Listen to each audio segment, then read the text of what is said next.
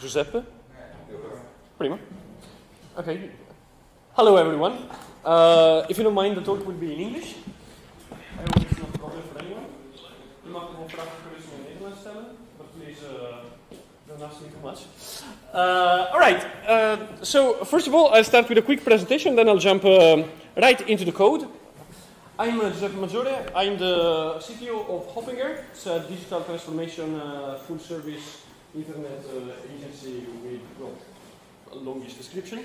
Uh, mostly we do websites, web applications, and broader digital transformations for multiple customers. And whenever we need to, to build a CMS, if we have choice, so unless the customer really complains about it, we're going to go for Drupal. But typically we build applications that have a lot of other components, such as ERPs, CRMs, uh, portals, etc. So the Drupal is a part of this. Uh, now, in the last few years, we've been confronted a bit with the issue of brittle APIs. Specifically, the fact that when you're relying on an API from an external service to always provide the same data, you will typically be sorely disappointed, to say the least. Uh, and so, what happens when you build an API with any system, any external system, and it's based on REST, and you have a nice, neatly formed CRUD API, you go live, then people work on one system and the other system, what happens? What's the typical experience? It breaks, exactly. Eventually it will break. And how does it break? yeah, who knows? Why, who knows? Because uh, it might be that the endpoint is not hit, or maybe the changes are not visible until you hit it with a very specific uh, parameter, with very specific parameters, or under very specific conditions. So it will break, and probably in a spectacular way that you don't expect. Alright? Because the easy break breakages, well, they're easy. You're going to see them, you're going to fix them. Okay? They're not that interesting. Uh, but there is also another issue. So suppose you have a, uh, so you have a, a, very neatly standard CRUD API. And we're dealing with a system where we have uh, very few, uh, very few um, well, a simple data model comprised of people, and people can take trips, and trips touch a bunch of cities, okay? How many calls does it take to get to build a nice dashboard that shows all the people in your system, and for each person, the cities they've been the most to? Just think about it. How many, how many calls to a get endpoint? You're going to have to do one call to get the people, right? That's one call. Okay. And let's say it's paginated, and we get the well, a dashboard. So 100 people. So let's paginate it to 100. Is that okay? I mean, 100 is not a big number in computing terms, right? Okay, so let's, uh, oh, let, let me note this down. So, oh, this is not a quick machine by any, by uh, any, any means of the imagination. So uh, occasionally, well, there's going to be some minor waiting involved. Uh, all right, so uh, we, get we get people, so you have a um, get on people, and how long is that going to take? In milliseconds. Sorry? Oh, come on, that's optim- seriously. What, what, kind of? Wow. Okay. So, are you connecting to, to NASA servers? I, am going, I'm going to put here a slightly less optimistic 100 milliseconds. Okay? Uh, and then we get uh, 100 people. Okay? So we had uh, 100 people. Uh, but now, for each, of these, uh, for each of these people, what do we have to do? Well, they're separate endpoints, uh, so we get the trips per person, right? Okay, so uh, times 100, uh, and we get, well, let's say this takes 50 milliseconds, okay? We, we, get, we get closer to, to your infrastructure now. Uh, okay, uh, and then we get the trips. And how many trips do we get? Let's say per person, 10 trips. Okay, so now we are at, oh, a thousand trips, right? A thousand, that's not a tragedy, so it's a thousand trips. Uh, but, ooh, for each trip now we have to get the cities. Okay? And, well, let's say that we have now a thousand trips times 10 milliseconds. Uh, and then we get the cities. Okay? And finally we have the cities. And at this point, the last of the loaders can disappear. let's take a look. How long has it taken us? So it's 100 milliseconds. Okay, so this is easy. This is just 100 milliseconds times, ooh, ooh, 5,000 milliseconds. That's unpleasant.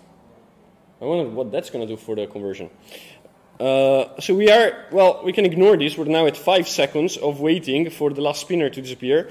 Uh, and here we have, uh, okay, then, well, this was very fast, but still it takes 10,000 milliseconds to get this. 15 seconds for the dashboard. Is that acceptable? No. So, I mean, you really, you really need a hardcore user base to get to the bottom of it.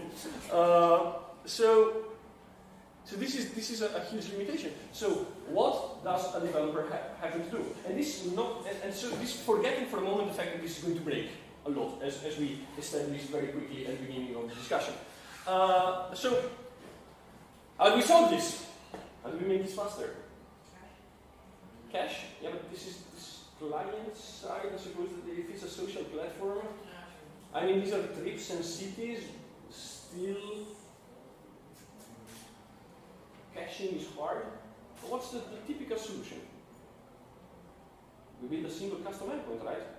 So now it's not a CRUD uh, API anymore. Now it's a CRUD API plus one endpoint. That's called uh, get people trips with cities.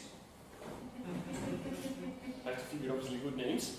Um, get people trips with cities, right? Uh, and we have it, and it's just one endpoint, and it has to give us, uh, okay, let's see, 100 people, 1,000 trips, uh, and then 2,000 cities, so that's 3,100 entities. Uh, so we're talking about 3 kilobytes, 3 kilobytes at worst. That's good. That's actually going to happen in 2 300 milliseconds. So that's good. We've won the battle. 300 milliseconds is waitable. If your spinner is pretty enough, then that's even better. Uh, okay, so we've solved the issue until until one of the designer, one of the designers comes in and says, but can we also have, and they figure something, and can we also have the cities, but uh, only the cities in the continent where the person was born? Right? So what we do, we go and we change this endpoint, now the code for this endpoint was this thing, and then after the first intervention, it grows a bit, and grows a bit, and grows a bit, then we have to include some database optimization, and it grows a bit, and grows a bit, and all of a sudden uh, this becomes unmanageable completely. And also, the data that we get back from this endpoint gets more and more complex, right? Because this is a tree. This, uh, what we get back from this is, is a hierarchy. So for each person, you have an attribute which is going to be trips, which is an array of trips, and in trips you have an array of cities. And so the amount of things that can go wrong is now so high that it's going to be amazing anytime you use it opens the browser and it works. So a marvel of engineering. Okay? So you get the problem. It's brittle, it's unreliable, it's slow, and if it's not slow, it's even more brittle and more unreliable. What's the solution to this problem? Which I'm going to present to you, but do you have any any any suspect? but do you have any suspects about what the solution might be? GraphQL is a very good solution. You know GraphQL, uh, what, what the enterprise version of GraphQL is? GraphQL is a very good technology, but there's, there's actually one which is a precursor of GraphQL. It's about 11 years old uh, and significantly more used in the enterprise industry. It's OData, which I'm going to discuss. Actually, GraphQL is a strict subset of OData, but everything we do today applies to both, uh, well, applies, applies to OData and mostly also to GraphQL.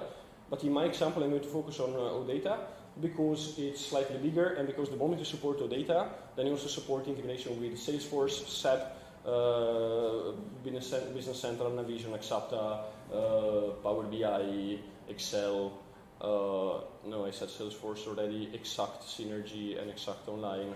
So, I mean, the, the, advan the advantage of an enterprise protocol is that, well, enterprises will use it. Okay? But the concept is the same. So the idea of both GraphQL and OData is that we present a single endpoint which can do far more than just give us one entity with some basic filtering. And what this will look like in the case of OData, I took the liberty of caching uh, some of this, um, is that it just gives us from, okay, so we have an endpoint, which is everything up until the last slash, and then there's the query. And the query is sort of a logical SQL, uh, SQL-ish query. Uh, in, in this case, what I'm saying, and this is very cruddish, if you will, I say I want the people. So if I run this, I get PUM. It is a free service, but it's, it's also quick enough. Uh, I get the people, and we have username, first name, last name, middle name, etc. But let's say that we also want uh, to only select uh, the first name. No, what have I done? Oh, oh. First name and last name. Oh, that's that's disappointing. Wait a second, have I done something stupid? Oh, yeah. Indeed, sorry, I forgot the question mark and then... Uh, uh, this, this thing is not meant to be used by humans, by the way, so it's, it's, it's machine-to-machine communication. Uh, but so, and now, uh, I don't need the designer, you know, to tell us something. We're ready, we are ready to change stuff. And if we only need two, uh, two attributes instead of 50, then we only get the two attributes, and now I've reduced the size of my response significantly. But we can also do even more interesting stuff, like, and this is where it gets really powerful, uh, we can say, look here, expand trips. Because person has trips, and so now what I'm saying is that I want in one single go, in one single get call to a REST API, I want all the people, and for each person, I want their trips. So if you look at this, now we get, oh, and for the people, I want to only select the attributes first name and last name. So now you see, we get a bunch of people, Russell White, and his trips. And the trips come in as a JSON array, as it makes sense, right? Does this, yes? Does this match the expectations roughly of what such a response would be? Uh, and what's nice is that uh, what, what, I'm doing here is uh, an SQL select and a left outer join to get to the trees. Are thinking about it? So the underlying data provider is doing it for me, which is nice. So I'm, I'm also kind of you know writing SQL without the bother of writing SQL. But it goes on because we can also, for example, filter. So now I'm going to say that I want. And if you look at the address there, I want to select uh, for people first name and last name. And I also want to filter all the people whose first name is either Scott or Russell. Right? And I'm not touching anything in the backend. So I have as many endpoints as I might ever dream of. And I can then expand the trips, for example, of these, uh, of these people. But the last thing I want to show you is that indeed I can also when I expand the trips, I can also run a query on the trips we've expanded. So I can say, I want all the people who are called either Scott or Russell. And of those people, I only want the first name and the last name. And for each person, I want their trips. And for each trip, I want only the name, the budget, and the description. Right? And well, let's see what we get out of this. There you go. So we have first name and last name, Russell White, because this is Ra Russell. And it's a Russell in this case. And then we have the trips. And for the trips, we only have name, budget, and description. And if we want, we can go on and we can expand, for example, the cities in each trip. And for the cities, we can expand the, the relevant uh, landmarks in the city and so on. So the limit is your imagination. And you might have noticed that this is still quite, well, this is still quite fast. And it's not just fast because there's a powerful server behind it, but because the data has been structured in such a way that you can easily generate a single SQL statement so as to avoid the infamous n plus 1 problem, which means that at some point you get very slow queries. Yes? Okay. So we have this, and GraphQL is similarly powerful. So we seem to have a good solution for the communication, and you might be wondering, uh, how can this be used? Well, the, a typical thing that we have done in, in practice uh, is that you create a bunch of views in whatever database uh, you have, in whatever system, and you expose these, these views via OData connector so that you can get data in whatever shape and form you want. So this is a very interesting solution because then we have a single query, a single endpoint, uh, and we run a single query to get arbitrarily complex collections of nested data, filter them as we want, and there's also operators like group by, order by, uh, aggregations like sum, maximum, minimum, etc. So this puts all the power in the hands of, well, let's say the, the, the single page application or as close to the front office where your users are, which is where the most interesting stuff happens, where you want to be able to do changes in functionality as quickly as possible without having to bother a backend developer who might be grumpy, unavailable, or in general, not the same person. uh, okay, so we have this, but this leads us unfortunately, to, no, to a not so minor problem. So now, what we will have in our code is going to be, very roughly, something like this. So forget about the code that I've already prepared. So we'll have uh, that the URL is this, and then we fetch it. So we fetch the URL, and then, uh, yeah, the, oh, then we have the response, and then we parse the response to JSON. And then what do we get here as a final result? Well, what's the result? Anything. And well, that's a problem because the correspondence between this URL and what we're supposed to find in the result is, is direct. So the actual specification of what's in the result is in a string. So someone comes, and, and you have to imagine that maybe we're using this result in multiple oops in multiple places. So these two pieces of code here are very, very far from each other. Lots of oops, lots of code in between.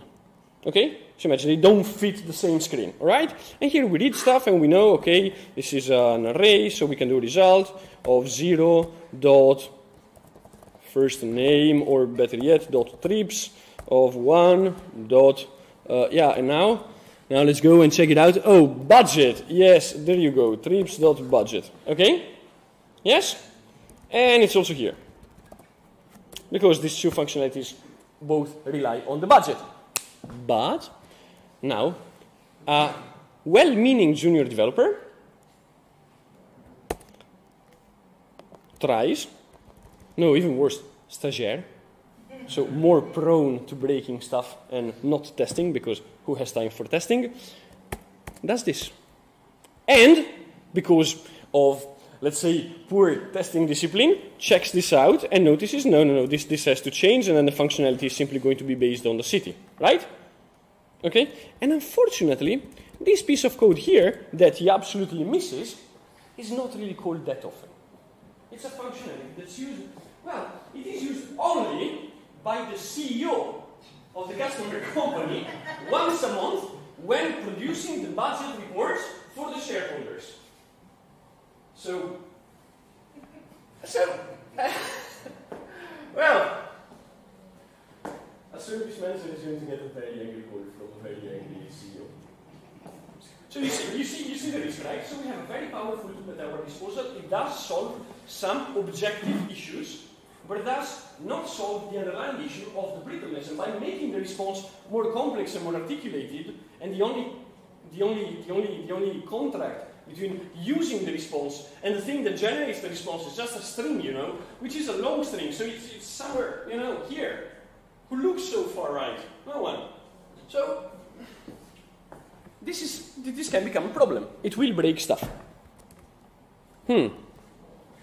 Okay, so I ask you once again, what do you think the final solution? Because if we do solve the robustness problem of the quality of the code we have, then we've kind of won, haven't we? Then we have a great generic way of performing queries.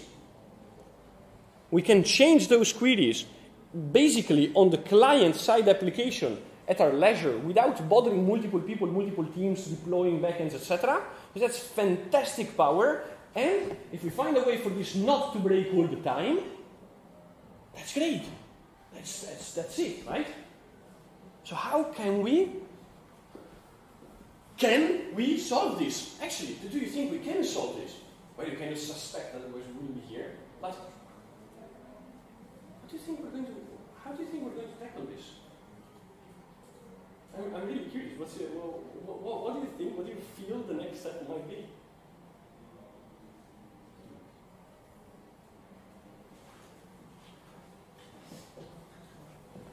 No? No takers?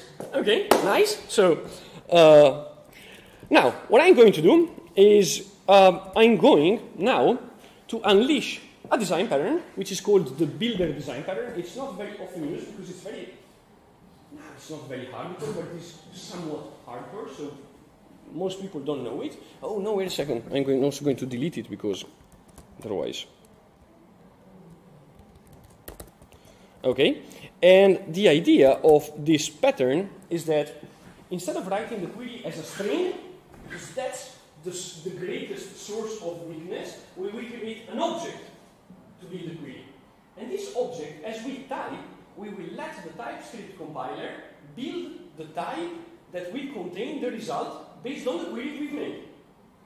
So this way, the type of the result will be generated by the compiler as we type, but if you try to use that type in the wrong way, the compiler will tell us. if you change the query in any way that is not compatible with the way all the pieces of code that use it do try to use it, then we'll also get a compiler error at those places, which, which is where we want it, right? Okay, so here goes nothing. Um, now, the query I want to be, so uh, first of all, we need this. Uh, this here is in TypeScript the definition of the types that represent our entities. And my colleague, Rolf van der Krol, is giving a talk about how, on how to generate these entities automatically from Drupal in your TypeScript. Because no one, no one should be subjected to the, to the monstrosity of having to type that by hand, only because it's boring. and if it changes, you want to press a button and get new code. I mean, that makes sense. So that's the reason why I'm leaving it, I'm leaving it be. You know, it's, it's there, and we have it. Let's assume we have it. No one has, has, has done any, any uh, so no developer was harmed in producing this. Uh, and what we have, and this is a simplified data model, uh, we have a person, the person has username, first name, surname, age, trips, and the trips are an array of trips. So in this case, we're going to say that basically we have a relationship, a one-to-n or even n-to-n relationship, then that looks like an array of, in this case, trips from the person. And also a person has friends, because I'm kind of building, you know, this, this integration layer for a sort of social application. So friends or followers, whatever, are absolutely needed. The trip has another layer of relations because the trip has a name and description and the cities, which is an array of city, and the city has, okay, and then my fantasy ran out uh, as a name and population, but obviously we could have something that's, that's more interesting. And now, obviously, well, this, this, this doesn't work yet, this is what I want the query to look like. I want to say my query, instead of a big string, I want to be able to say, uh, select first, so from people query builder, and you could also begin from trip, but uh, I'll just set up the people query builder. I want to select the first name, then the surname, later on also the age. I want to expand, because that's not the same as selecting, I want to expand the trips. And, well, what do I do with each trip? For each trip, and this is the trip query builder, I want to select the name of the trip. And then if I write, uh, if, I, if I run this, I get as output a bunch of first names and surnames, but I do not get an age. So if I, if I write age here, I must get a compiler error. But I can also look at the trips, and I can also get the name. But if I try to get, for example, the description, I'm telling you what, what the requirements of the solution are, I, I must get a compiler error. Now the compiler doesn't know anything about this yet, so it's already failing here. So it's not bothering to, to, to, paint everything red here. So it's saying, well, if there's an error here, it's not, it's not bothering to give us errors here. But if for whatever reason it weren't to give us an error here, it would crash here. Okay? But this is the solution I want to get. I want it to break here. If I do anything here that's, that's not compatible with, because this is the query and this is how I'm using it. Okay, now, so let's begin with a query builder. And the query builder will be a generic class. Now, the query builder will take as input a generic parameter. How many of you know what a generic type parameter is? Please uh, raise your hand. Okay, have you? How many of you have used the Java or C Sharp? Okay, there's relatively little hands going up. But so the idea is that the query builder here is going to be a type.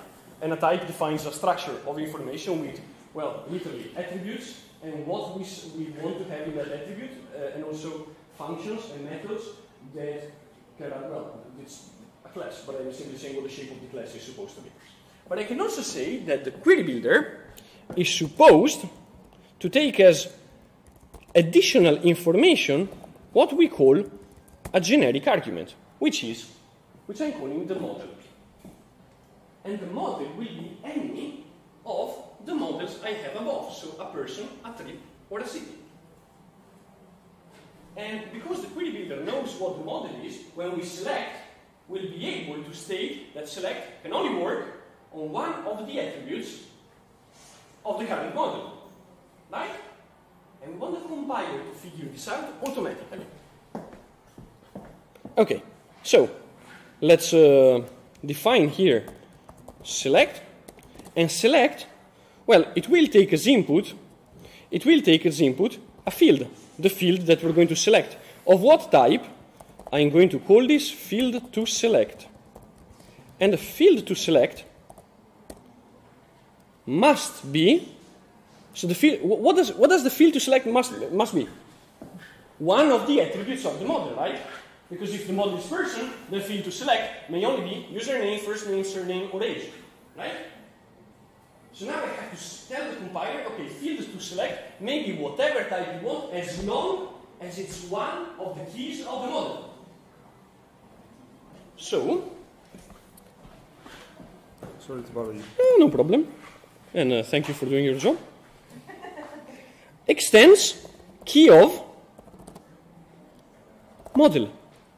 Now I'm simply going to, well, what does this return? Well, what this, what this returns will be, well, for the moment, just, uh, oh, sorry. What, what this will return is a new query builder that continues along the same model. Now, let's say that we have a people query builder, and the people query builder is a query builder over person. And for the moment, I'm simply going to say null exclamation mark, which is, which is just a way for me to tell the compiler, don't bother me about that. I will implement it later. But for now, I just want to see if the types match. Oh, look, look, look, look, look, look. Select, it's happy. It is happy. Now the error is on expand, and that makes sense because we haven't implemented expand yet. Okay. So let's uh, remove this for a moment. But, hmm, let's see what the IntelliSense tells us. It says that on a people on a person query builder, on a people query builder, what can I do? At the moment, I can only select, right? Because of the interface. Now, now, now a little bit of magic is going to happen. Now, when I say what to select, now it's going to tell me that the only options are the fields, the keys of the model, and the model in this case is person, right? But suppose that I'm a junior developer and I really, really know better. I really know better because I just went to school. And so I say, I really want this attribute. Look what the compiler says. the compiler is going to literally prevent us from making this mistake. And actually, the, the type the compiler is not going to run. Webpack is going to refuse to, to move this forward. Uh, and if you have any basic, decent continuous integration the delivery pipeline, it's going to say, this is basic hygiene. So the application is not going to go live, which is, if you ask the service and delivery manager from our example before, significantly better than the call that they would otherwise get. Okay, so now we can only say uh, uh, we want, well, let's say first name, okay, that's good. Then uh, uh surname, and, mm, well, that's kind of ugly, right? Because what do we want when you select an attribute? What do we expect? Sorry? Yeah, but I mean, there's only one surname, right? So what does it mean to select the surname multiple times? It means nothing. So you can select an attribute only once, and you get it in the response only once. So we have to somewhat say that the query builder uh, in select, the field to select is a key of the model, but is not a key of whatever we've selected so far. So let us build, let us carry around also the, the result. And the result is a new type which we carry whatever we have selected so far, because we also have to build a type with the result. And whenever we add an attribute, we have to add that attribute to the result. But it also lets us track what has, what has already been selected. So, uh, well, first of all, let's fix uh, the first error here. So in the beginning, the result is nothing. It's an empty object because before you select any attributes or expand any relations, then there's no result. But what about here? After we've selected field to select, then we expect that in the result we will have everything that we had already in the previous result. Let's see if we get lucky. And and well whatever the field to select was in the model. I'm sorry for the syntax. This could objectively be prettier. But, oh, wait a sec. I, am going to try a prettier one in a moment. Uh, but uh, let's see. Now, let's add um, run method, which, well, takes as input nothing and returns us, well, the result. Okay? So imagine we can actually run this, and when we run it, we get a result back. Let's see what we find in run. Uh, we call run, Oh, and this is obviously supposed to be an array of results, sorry. And in run, we get, oh, it's an array. Let's get the first element. Oh. Huh? Oh, come on, this is, this is pretty. good. This is, no, thank you. Okay, but, uh, and, and, and, and, and furthermore, if you, if you take a look, so it knows that the first name is, is a string, and it knows that the surname is a string. Why? Because when we say this, this, this is picking whatever the type was of that attribute in the model. And because the age is a number, if, oops, sorry, if I were to also select the age, then the age is a number now. So this is full-blown type safety on the result of a query. Well, that does put a smile on my face at the, at the very least. But we said we wanted to remove this repetition. Uh, so when we extend, well, we, it has to be a key of model, but, well, it's actually the key of model, but not a key of the result. and, well, look here. Because now it's saying uh, no, because the surname is already. So after this point here, the surname is already in the result. And so from this point on, it's saying no, because surname is not a key, uh, is not a valid key anymore. And if you and if you ask the IntelliSense at this point, it doesn't have first name and it doesn't have surname because they have already been selected. And if you try to really force first name, it's not going to work. And also notice that I've removed the H accidentally, and the compiler is simply there because it's what the compiler does. You know, those things have, have no sense, you know, of, of time flying by and boredom and interest in life. So they keep going through the files and saying, "Oh, there's an error there. Oh, you press the button. I check everything. There's an error there." Does remind me of my of my mother-in-law. Uh, lovely woman, very precise. Um, they, yeah, they're Italian, so they, they, they are visiting now. So. so I'm happy to be here today. Uh, okay, uh, all right, so we have this. Uh, now, now I want to try actually something that I, have never tried before, so I have truly no idea if this is going to work. But I think there was a way, it's called pick field to select over the model. Ah. Seriously? Oh, no, it's the other way around. Okay. Yes. Yes. Uh, that's significantly prettier. So pick says, okay, take from model the field to select. And is it still correct? The age is number? Huh, okay. Oh, I've learned something today. I had this sudden realization, hey, it can be done prettier. Okay, so, um, all right. But there is one minor snag. So attributes work, but one thing that one thing that doesn't work, yeah, is this. Because uh, what's wrong with this? What, what, what do you reckon is, is wrong with this?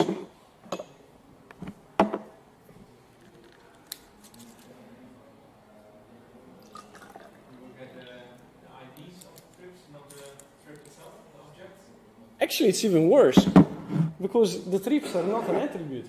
So the moment you try to ask OData or GraphQL to select a relationship instead of an attribute, it's going to break because this will generate a malformed query. Because the trips are not an attribute. It's not just a, so you have to do a left outer join to get the trips. So it's it's really legitimately another operation. Mm. And obviously we also we also know that an attribute is never going to be an array. Right? So because it's never going to be an array, um, I want to find a way to make sure that whatever that whatever we select whatever we select must be well an attribute which is not an array. Okay, so now let's take a look at what the language offers us when it comes to building in checks at compile time. So all these computations, all of these checks are happening in the compiler. So I haven't ran this program yet. It's just the compiler running uh, what we call it is meta logic or, or well, the compiler runs meta code or static code or whatever. Now, I want to build a type which I will call ensure not array takes as input a type t and what it does is it checks if t is an array, then it's going to, it's basically going to crash. So I'm going to cause the compiler sort of to crash or to, to give up.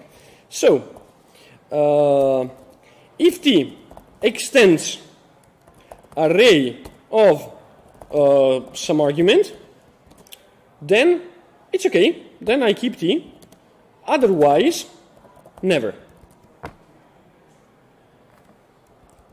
So this is an if then else on types. And I can use it, for example, well, um, oh, and also let's say that I, I, want to, I want to actually get the result uh, if uh, t is not array. And otherwise I get an average. Now what I'm going to do, this is where it gets a bit, a little bit uh, uh, well, this is all a bit uh, a bit weird. Uh, so I want select to return a query builder only if model of field to select is not an array.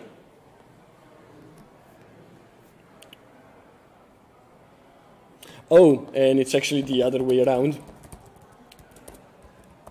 Okay, so look what happens. If, uh, let's select the age as well. Let's go back to the selection of the age. Okay, so uh, now, now it works. At this point, after the query, I, I have a run method, okay? I can see I have a run method because, well, it's here. I can run it, okay? Because as long as the query is valid, I get a run method, so I can run my valid query. Now, suppose I, I do select trips. I get nothing. I can't go on. So even if you say, no, no, I really want the trips, yeah, you may have them. Not, because then you can't go on. Uh, also, we could have prevented the key from being accepted, uh, but this is a very simple way to literally stop the flow of programming. So I, am putting a flow of programming that makes it possible for the developer only to write a well-structured query. If you try to write anything that's not structured, you get at some point the never type, and the never type is a type that cannot exist, that cannot be instantiated, and it's basically the equivalent of a compiled error. So, forcing us, if we do want to, to get a run method, to correct our query. Now, building expand, building filter is something that, uh, that does uh, look very much the same. So I'm going to show you, if I can find it actually, because this was This was quite a long time ago. I didn't think of, of, of preparing this. That's a bit of a pity. Oh no. Where are you? I really want to show it. It's so pretty. Custom views. It's also a possibility. No. It's even worse. Ah. I've forgotten where I put it. Uh, anyway, uh, so I can just tell you, I can tell you the short version of it. Uh, we are using this in, in gigantic queries uh, all over all sorts of projects. Uh, so with, with queries written in this format that, that become this long, and they are fast, they are reliable, and they, well, produce quite an impact. So in short, just to recap a little bit where the journey has led us, and we started with ground REST APIs, with which there is nothing intrinsically wrong, but for, as the application evolves, at some point it will not be enough. From a pers performance perspective, from a maintainability perspective, and most likely you will need custom endpoints, which require a lot of interplay between the backend people and front-end people, who might even be part of separate companies, which is the worst case of all, because it breaks, oh, whose fault it is? Oh, it's the other supplier. Oh, suck we are good. And it doesn't matter who says it, it's always the other party, party that says it about you. So that, that's difficult, that's problematic. Then interaction designers and, and, and designers in general are literally paid to make our life a little bit more difficult because they will figure out new ways to present data. And it's their job. So what we, what we all build are very fancy interfaces on data. That's all we build. So basically, whenever an interaction designer thinks of something new, it's a new way of presenting more data in a more connected way. Until at the end, you basically get all the data in the most economic presentation possible. So do, do note this, that in life, eventually everything starts simple, so MVP is always simple, stuff is neatly separated, and then every piece of related data, so it's like a, a, an olive flag, it's, it's like an oil uh, thing that, that, that devours everything. So we need flexibility, and the way to do this is with either GraphQL or OData. But the problem is that it makes the structure of the code we write on the receiving side far more complicated because now you change a string, a piece of the string of the query, and something else breaks. So how do we make this more solid? We can, based on the definition of the model in some typically, in some statically typed uh, safe language, and then we can do some really interesting and powerful type magic. And this is not possible in most programming languages nowadays, by the, by So TypeScript is, together with Haskell, one of the only two languages that actually can do this. So it's also kind of nice that finally web development gets the best tools after 30 years. Um, and then we can get the flexibility, the performance, the reliability, and hopefully also the peace of mind to go with great functionality instead of fixing broken stuff. I hope you did enjoy the talk. Uh, so thank you very much for the, your attention. And I guess uh, that's it.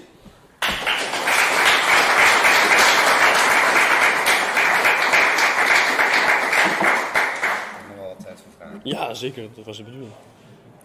Any, any questions? And please, do, there are no wrong questions. Only the ones that are not asked.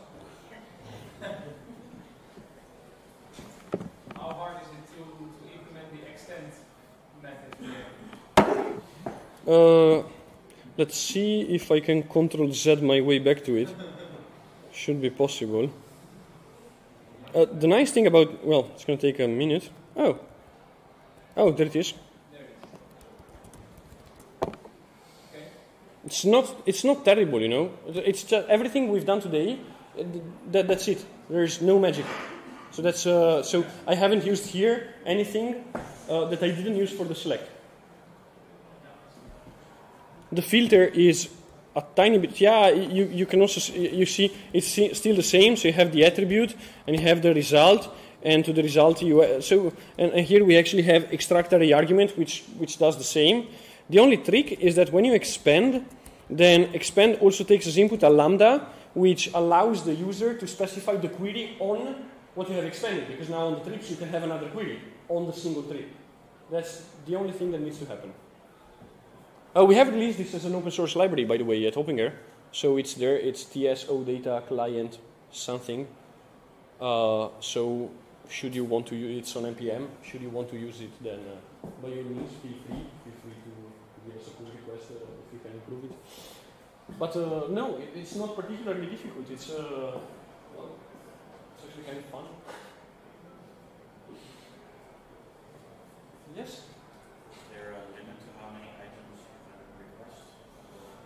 Um, now, yeah, so if, if there's a limit to the number of, of items you can request, well, there, there is, let's say, obviously the conventional wisdom of the more data you send, the slower it's going to be, does apply. But please do remember that when, when you, when you do a, a call to an API, unless you're using WebSockets, most of what's happening is that you're waiting for, uh, let's say, a handshake to happen. So you have the application here, and it's disconnected from the server. And the application has to send a message to the server through the big, wide internet, you know. And, well, these messages that are sent through the network are like these, these little critters uh, that you send through the forest, and they get eaten very often because the forest is full of wolves. So all these messages get lost all the time. And so you spend a lot of time before the first message actually gets to the server says, Here I am, we want, and, and the message says, I want a connection to you. So the server sends another critter back that says, oh, here's the connection, but it gets eaten 50 times. So at some point, it, it gets there. So that's the reason why we have these, these machines. They can do this in a microsecond, but it actually takes milliseconds, so, so, so far longer. So the problem is that whenever you do a GET request, to create this connection requires a lot of trial and error. When you have the connection, sending data is cheaper. So sending more data in a single call is much, much better than sending the same data in a lot of smaller calls. So I, I, I, guess you could turn the answer uh, into, well, obviously depending on your users, but if you have, let's say, a time budget of one second for a big important page, then in that one second you can send so much more data with a single call than with 50 separate calls. Even though 50 is a stupidly small number in computing terms, but the, the, the sending back and forth of handshakes is incredibly expensive. So the point is, you can send much more data with this, and I'm talking about an order or two of magnitude more. So you can say that you can send, let's say, 100 times more data than you would dare send without this. And if you want to make this even faster, then you can use uh, WebSockets, then you keep the connection open. Uh, but that's something you really, you, you, uh, my advice, make sure you really have a very good case for it. because that's a world of hurt. But it is absolutely possible, and then if you want to get even faster, instead of sending JSON back, you could send binary data, which is smaller and more compact, but uh, I mean, we have done some experiments. You can get these things to be blazingly fast, but this is already so much faster than the naive than the naive CRUD API that it's going to take a while before you actually notice that uh, you get you get this as a bottleneck. And when you do, there are ways to optimize it further. But it was a powerful question. Thanks. Yes? Where does the magic happen where the query string for the URL is generated? Ha! Uh, well, I've been here obscenely lazy. Yeah. That's there. So basically, what, what that is going to do is it's simply going to store all these. So uh, you, you, notice that here, uh, when I select, I actually have to give A, and A is an attribute. So what I do is I create a data structure where I, I save A somewhere. So you save basically a data structure that's going to be uh, a, a, sort of tree data structure with the select, and that's an array of all the A's. And this attribute is basically a string. It's a very so the type of attribute is, is, a, is a super type of string. Uh, and so I get those in an array, and then I generate the string. So that's from that point of view, that's actually relatively simple.